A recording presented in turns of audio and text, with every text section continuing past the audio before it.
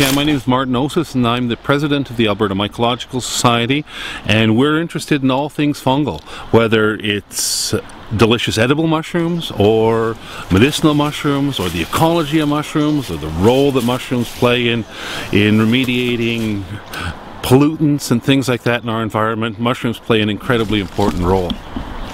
Today we're going out for a morel count. It's kind of you've probably heard that the birders go out in the fall in the around Christmas and do a and do a, um, a bird count, what we're doing for the first time is doing a survey for of morels and other spring mushrooms at the same time in the city of Edmonton.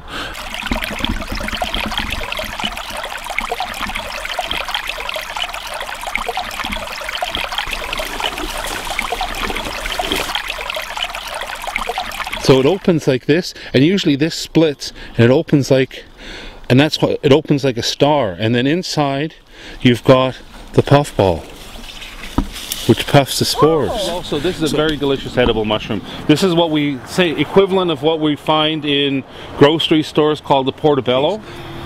These mushrooms are characterized by the gills. When we look at portobellos, they're a little bit older and the spores in portobellos are dark brown. And here they're just starting to turn brown and that's why we have that little bit of a pinkish hue. If Rob would have left this for another day or so, then it would be deep brown, brown, brown, like chocolate brown. And that's one of the ways we tell them apart. Also, when you start looking at mushrooms, the things you always look at is how the gills come into the stalk. And in this case, if we look closely, the gills actually are free from the stalk. Didn't have a lot of fleshy mushrooms, but lots of medicinals and a lot of mushrooms called polypores. Polypores are called polypores because they have pores on the bottom instead of gills or other things that we see in mushrooms. And a lot of these have strong medicinal characters. The most exciting one, which is a little more rare growing on birch, we can see the birch bark, is this one called chaga.